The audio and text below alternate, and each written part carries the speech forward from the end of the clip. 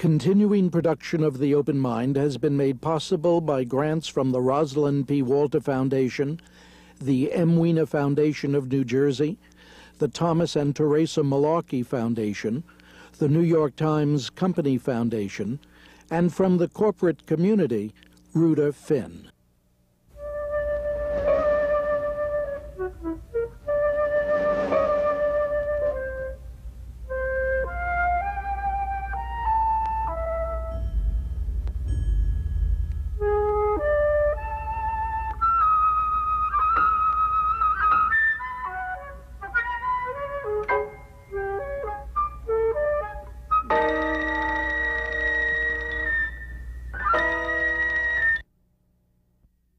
I'm Richard Heffner, your host on The Open Mind, and though I haven't the foggiest notion when you will see this program, I note that we recorded mid January 1997, and that twice in the last month the Sunday New York Times has quoted today's Open Mind guest on matters seemingly quite disparate. First, on a major motion picture, The People versus Larry Flynt described by the Times as celebrating a millionaire pornographer as an American folk hero and as director Milos Forman's raucous hymn to the First Amendment. Then on the real life game playing that seems so distressing to many of us who search for truth and justice in our courtrooms rather than just the manipulations of our adversarial system. Actually, it's not surprising that the Times should in both instances quote the same well-known civil liberties lawyer. After all, New York University Law School professor Burt Neuborne actually appears in the movie himself, though cast against type, of course, as the Reverend Jerry Falwell's counsel. Besides, as the former national legal director of the American Civil Liberties Union, he so often fought the good fight for due process and the adversarial process. But let's start today with the movie, not as critics, to be sure, nor in Professor Neuborne's case as an actor, or in my case as chairman of Hollywood's film rating system for 20 years. Rather, just as thoughtful Americans who want best to understand what it means when the Times reports that even Burt Neuborne worries that the people versus Larry Flynt is one sided. Preachy is the word he used to describe some of the pro Flynt courtroom speeches taken directly from court transcripts. Can it be, the Times writes, that a movie that features a cartoon of a sexually aroused Santa Claus is not too raunchy, but too reverent about free speech to do justice to the First Amendment? I would have loved to see somebody in that movie make the case against the First Amendment position, said Mr. Neuborne. The pitch was always free speech against narrow minded bigots. What you never heard was a more thoughtful voice. So now let me ask Professor Neuborne quite what he meant by that, what you never heard was a more thoughtful voice. Fair question? Fair question. Um, uh, there's a little, there's a back, little bit of background to it. When I first made that um, uh, argument to Milos Forman himself, uh, as the movie was being made, Milos was teasing me, and he said, "Well, all you want is more lines. I mean, the Hollywood bug has bit you, and since you'd, you'd be the one to deliver those lines, obviously, you just want a bigger part." Uh, the but the point I was making, um, let me say first, I love the movie, uh, and I'm proud to have been in it, and we can we can talk about that. Uh, but that um, as a mass civics lesson about the First Amendment, it seems to me that it would have been more effective if we didn't sugarcoat the First Amendment itself. In other words, this, uh, when you finish that movie and you walk out, you say to yourself, why would they want to have imposed these terrible censorship uh, uh, norms on Flynt? Why, uh, what possible reason would these narrow-minded, uh, blue-nosed bigots have had to put this guy away? Um, and I think if the argument had been developed, at least in more plausible form, it's a losing argument. But it's important if you're going to talk about the First Amendment to get both sides out there. Now, wait a minute. What do you mean? Which is the losing argument? Oh, I think the argument for censorship is the losing argument. Um, uh, I have no problem whatever with Milos uh, Forman's uh, uh, uh, desire to make this a love letter to the First Amendment, which is what the movie is. Uh, but it seems to me that there are powerful intellectual arguments that at least should be put on the table about limiting the degree to which speech is utterly uncontrolled. For example, you never once in the movie hear the feminist critique of pornography. Um, what you hear is that pornography is dirty and that sex is dirty and that people like the Reverend Falwell and Charles Keating, um, uh, who was the head of the Legion of Decency in those, in those days, uh, are uh, somehow troubled by sex and therefore censoring this because they don't like sex. What you don't hear is the very powerful argument that uh, uh, much of uh, violent pornography treats women uh, as commodities, uh, uh, treats them in a dehumanizing way, which in some sense makes it harder for women to be able to attain genuine equality in the society. And that there is, I can understand why, for example, feminists take a political position on pornography, which is very different from the old uh, anti sex position. It is really uh, an argument that says that pornography is not about sex, it's about power. Uh, it's about depicting women in positions of servility uh, and pretending that they like it. Uh, or even worse, uh, imposing violence or other forms of physical subordination on them, and pretending that they enjoy it, so that a mindset is built up where women are thought to be uh, a, a, group, a subgroup in the society that enjoys vilification. Well, then, what position do you take on Catharine MacKinnon's uh, own suggested laws, her uh, and Dworkin's? I oppose it. I, and it's a complicated position. I oppose it for this reason. I make a distinction between social arguments against pornography, which I think are quite powerful. Uh, uh, arguments that say pornography isn't nice, it's not pleasant, it's not something that we should uh, be particularly proud of or particularly proud uh, of the people that, that make it, like Flynt. And legal arguments that would impose sanctions uh, on people doing it and on people reading it. I believe, in some very deep sense, uh, that Catharine MacKinnon has won the ideological war. I mean, she has persuaded large numbers of people that pornography is, in fact, a political issue and that the subordinate status of women is, in some sense, connected to a pattern of speech over the years that has treated them as second class citizens.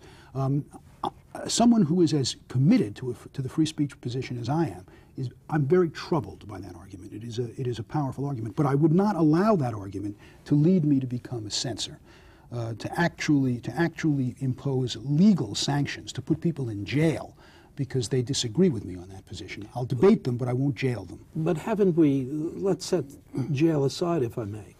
Haven't we always in this country used the law as a means of establishing social norms? Sure, but not by censorship. I mean, th that's the, the, the law is, a, uh, is an enormously important uh, educational device and a device to set social norms. The way we, for example, protect equality, the way we've used the law to protect equality in recent years, uh, is a very powerful legal tool.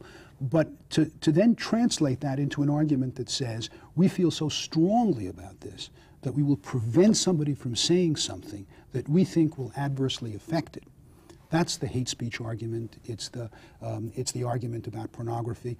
Um, I get off the train at the point at which you, you go from social condemnation of that type of speech to legal prohibition. First, let me understand how long, from where to where do you go on the train? Well, I go on the train. Um, uh, I, can, I can imagine um, hate speech, for example. Well, I mean, for example, burning a cross on somebody's lawn. It's not protected speech. It's, um, it's trespass.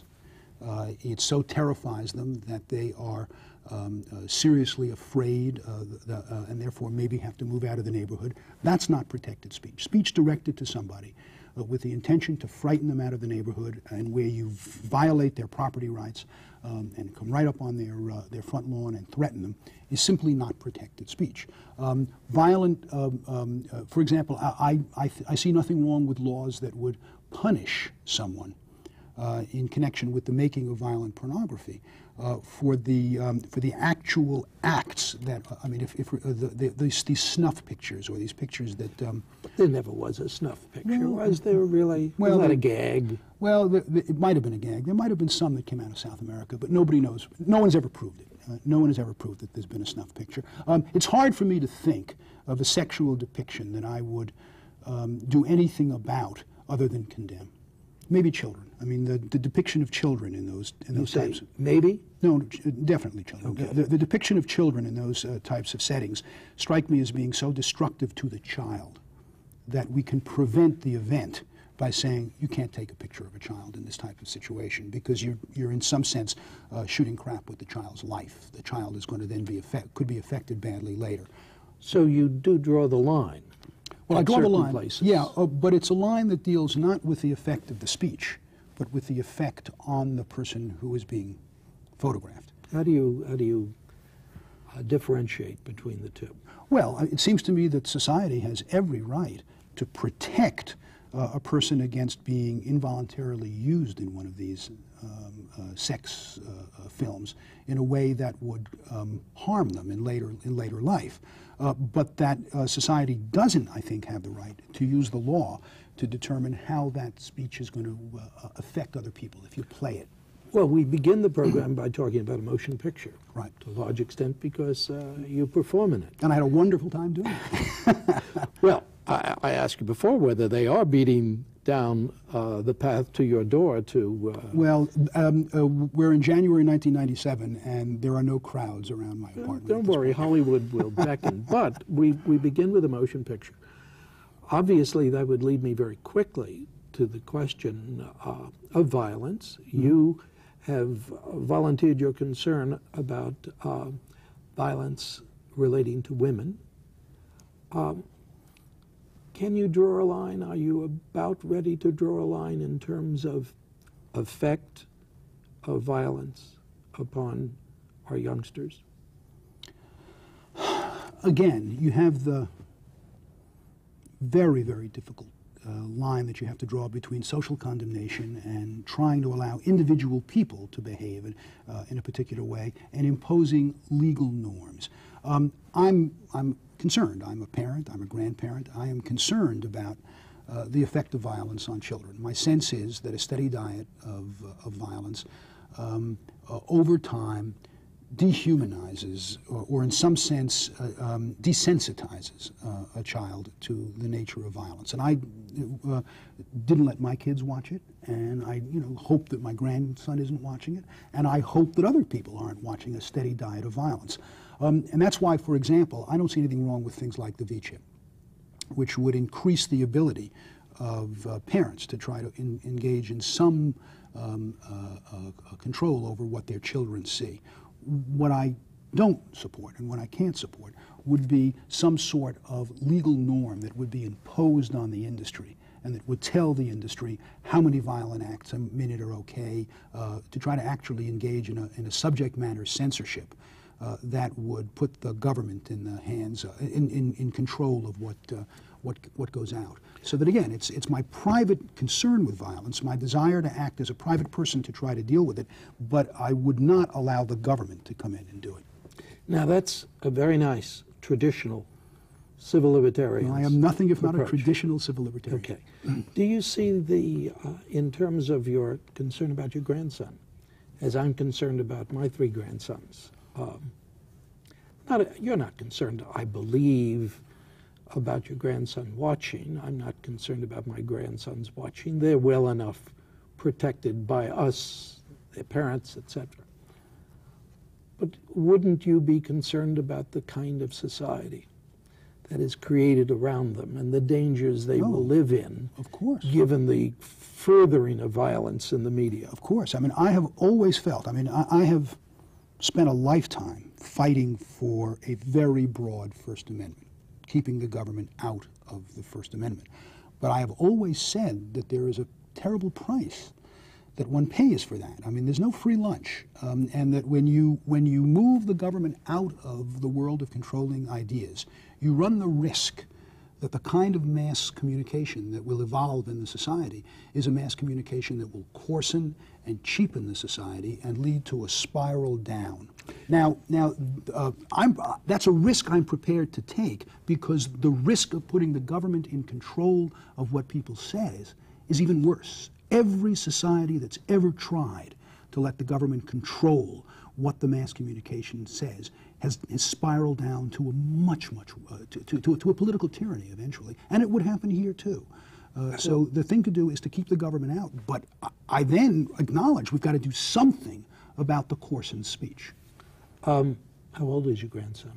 Uh, 20 months. Okay. Um, He hasn't started watching it yet. All right. Uh, but again, it's not the watching, it's the living in a society where so many others are watching. And Well, but I agree. Uh, but uh, suppose you were also living in a society. Let's take flip the side. I mean, if Yeah. Milos Forman were here, he said he, he lived in a society in which the government said what got said, and he said the nature of that kind of stultifying. Uh, um, uh, society in which creativity was viewed with suspicion, in which, in which once the government got its hands on the communications media, it isn't going to stop by just counting the number of violent. I mean, for example, suppose you want to do Hamlet. Hamlet's an intensely violent show. well, you're not going to use that industry gag No, no, about Hamlet would no, be censored. No, no, Hamlet wouldn't be censored, but you, but you then have to get a set of rules that would distinguish Hamlet from something that you would censor, uh, and that then means that someone is going to sit and say that this particular um, uh, uh, um, show, uh, NYPD, is not good enough to fall into the Hamlet category. This particular show is good enough to fall into the Hamlet category. I don't know anybody that I would trust to make that judgment for me. I mean, I'm in favor of empowering individuals to make that judgment. And the V-chip, I think, is a good step in that direction. But I'm not in favor of delegating that judgment to anybody, whether it's Jerry Falwell or even you. Well, particularly to me. No, Because no. I'm more and more concerned about my seven year old grandson walking around in a city that um, is made up of people who watch more and more violence on the air. But let me, let me ask you something straight. Yeah. Do you think, when you look at yourself in the mirror or on screen, that you may find yourself saying, yeah, I've been talking about balancing, a balancing act. I don't want what Milos Forman ran away from or wants to oppose. But I am worried about that little boy and the society in which he lives. Do you, can you anticipate seeing the balancing act, the teeter-totter moving differently than it does now? I never say never, and there are areas in which I think the First Amendment has gone too far, but it's not that area. Um, the illusion that we can have just a little bit of censorship. I mean, the, the, you know, we've we've all lived through a period, an extraordinary period in human history in this country, in which uh, we've succeeded in building a society that's had remarkable free speech. Almost no one, no one else has ever lived through this period. Many of us, I'm afraid, sometimes I fall into it myself. Think it's the natural order of things. That you know that, that, that freedom is a natural thing, and that why can't we just tinker at the margins and take away a little bit of the freedom so we can get the mix exactly right? And the, there's a huge risk with that because no society has ever been able to develop a mechanism that says we're going to take just a little bit of the speech away and keep the rest. The moment you start tinkering, especially with something as amorphous as whether um, the violence is tasteless, particularly dangerous. I mean, the moment you stop, uh, you, you, we all have to concede there's no objective measure of violence. The very fact that Hamlet is great and some of the other stuff is garbage means that it's not how many swords get stuck through how many bodies that will tell us whether something is violent. It's, it's a contextual aesthetic judgment. Um, contextual aesthetic judgments made by the government have always been disastrous. I don't know how you could organize a group of people who could make those that wouldn't be advancing their own agenda. Would you let Falwell do it? I wouldn't let Falwell do it. Would you, I'm not sure I'd let you do it. You're worried about your seven-year-old, but somebody else is going to be worried about the seven-year-old developing into a creative artist and doesn't want to stultify what uh, what comes out. I mean, there are so many different visions. So that the way to go, I think, Yeah. is not the government. The way to the way to go is to say, look, freedom creates a real problem, and the real problem is that we will spiral down to a coarse society, and we have to figure out ways for individuals to be able to fight back and push back to try to be able to deal with that. The V chip is you show me something that empowers individuals to make judgments about what they want to watch and what they want their children to watch, and I'll tell you, you're on the right road. Of course, right road, except there is an intersection along the way in which we suddenly look around us and find that this is a nation of latchkey children in large part. Not just technically latchkey children where there are no parents at home at all, but where parents are worried about making a living. If there are two, and if there is one, mm-hmm. if there are ten, they're all worried about making a living. And the concerns for the children aren't that manifest. So that I come back and say to you, I don't want to talk about censorship. You're right. I don't trust me, and I don't trust you, and I don't trust most of the people who uh, want to do that. But I do think there is a clear and present danger posed to us now, and I think we've got to do something. Well, you say no censorship. What happened to that uh, uh, honored to me American tradition that I reflect at the end of the program? I say, if you want to get a transcript of uh, Professor Neuborne, uh, send to mm-hmm. the post office box, FDR station, blah, blah, blah. And I say it with emphasis and a smile on my face because I belong to the New Deal era when regulation, not censorship, but regulation was not a dirty word. I admit that well, Reagan and Bush and Gingrich have made it. Yeah, but it wasn't regulation word. of speech. I mean, you know, we can get Orwellian here and say whether it's regulation or whether it's censorship, but, the, but I don't care what words you use. Roosevelt didn't, the, the, there was no part of the Roosevelt New Deal that attempted to manage the substance of what people said. Now, if, if you want to talk to me about concentration of media ownership and whether we should be breaking up the seven large conglomerates that control virtually every single uh, station in the country. That's different. You want to use really tough antitrust laws now to break up these huge concentrations of power. That's an area where I think the First Amendment has gone too because far. That they're using the First Amendment as a way to insulate themselves against government regulation, not government censorship, but government regulation to try to make sure that there are enough competing units so that if I don't like what one channel is, show, is showing, I can at least shift to another channel. You know, it's interesting. The, in the old New Deal days, uh, people were saying those whose goods and products were being regulated made the same arguments. And I wonder if we're not going to have to take a somewhat different view to conserve as much as what you and I want. Yeah. Well, I think the First Amendment see, tradition. I think, I think, there are two two areas where I might do it. I Tell me where. I mean, the, the, the one where I wouldn't go is the suggestion that you made a moment ago of trying to do some sort of subject matter tinkering to try to control the subject matter of what goes out by asking whether it's too violent, too sexy, too tasteless, too coarse. Uh, that that's limited to too violent. Too I'm violent. Not, but I, I, am not worried but about of course, But of course, we couldn't stop with too violent. The moment you go too violent, someone is going to say, well, "What about sex?" Sure, the V chip was supposed to be violence. Now it's the whole yeah. gamut. So, but but I would concentrate on two areas where I consider where I think the First Amendment is now part of the problem, not part of the solution. The first is the ability of large media companies, Time Warner, Disney, to trot the First Amendment out as an insulation against some form of structural control designed to assure competition, designed to assure that there's access to this incredibly uh, expensive and now powerful media uh, uh, unit um, uh, that you don't have to be a millionaire to be able to get your get your views out in some in some sense. Um, they have successfully melded the notion that it's their property and the First Amendment into a kind of glue that makes it almost impossible to effectively regulate the structure of the industry. I wouldn't tell them what they had to say, but I would say I don't want it all to agglutinate into a single mass where seven companies control everything. I, I, there has to be more competition. And then the other one, and this is a, a program in itself, is campaign financing.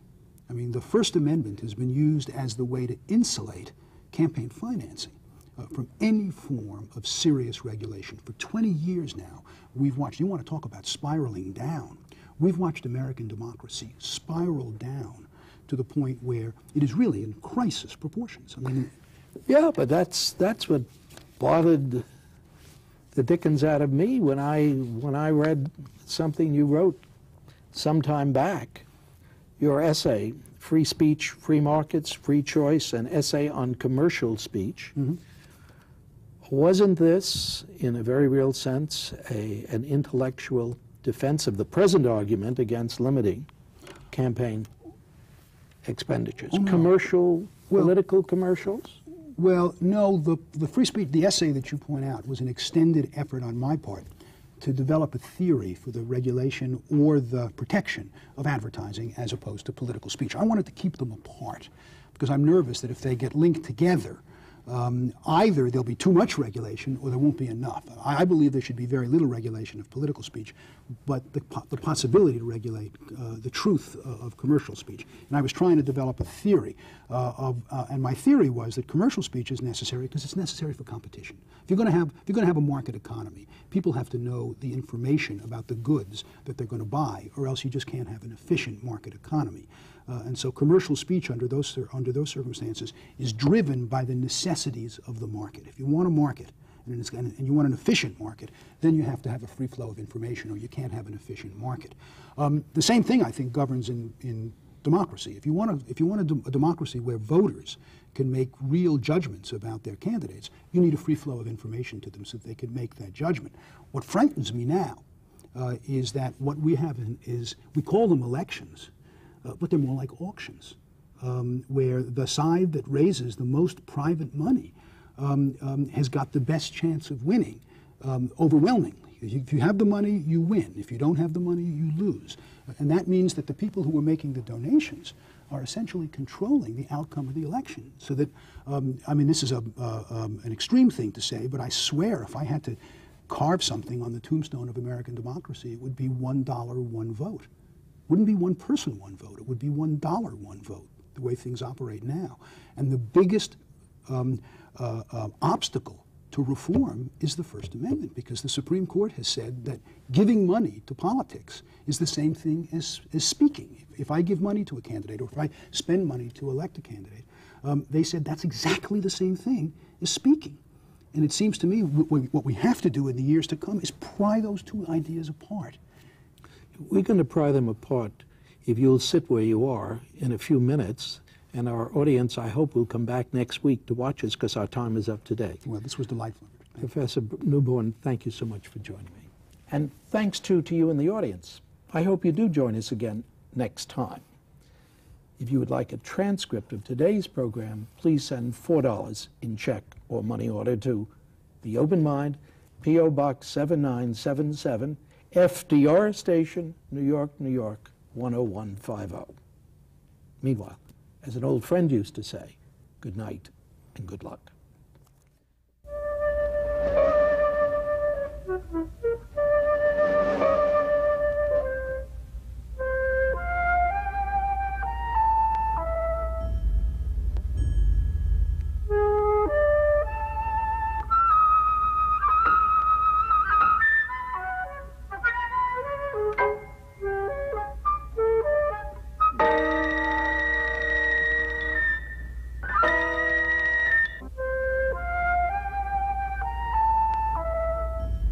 Continuing production of The Open Mind has been made possible by grants from the Rosalind P. Walter Foundation, the M. Weena Foundation of New Jersey, the Thomas and Teresa Mullarkey Foundation, the New York Times Company Foundation, and from the corporate community, Ruder Finn.